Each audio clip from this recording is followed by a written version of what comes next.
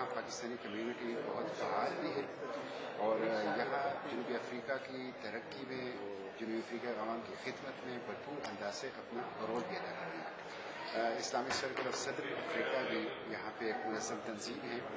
جو کہ یہاں پاکستانیوں کے اندر کام کر رہی ہے اور پورے ملک کے اندر فعال ہے۔ کنگ ولیم ٹاؤن میں بھی ان کا ایک کنوینشن ہوا، یہاں جوانسبرگ میں بھی جی ان کا ایک کنوینشن ہوا اور اس وقت یہ جنوبی افریقی عوام کی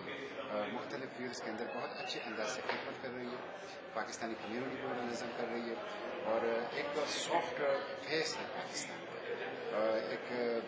سفیر کے، پاکستان کے ایک سفیر کی کردار ادا کر رہے ہیں۔ تو مجھے بہت خوشی ہوئی یہاں کی پاکستانی کمیونٹی کی فعالیت کو دیکھ کر، یہاں پہ اقسا کی فعالیت کو دیکھ کے اور یہاں جنوبی افریقی حکومت کی جو ایک پیپل فرینڈلی اپروچ ہے جس طرح وہ تمام کمیونٹیز کو لے کے چلتی ہے فیسیلیٹیٹ کرتی ہے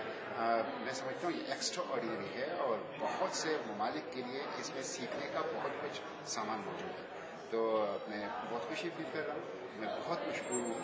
ایکسا کا پاکستانی کمیونٹی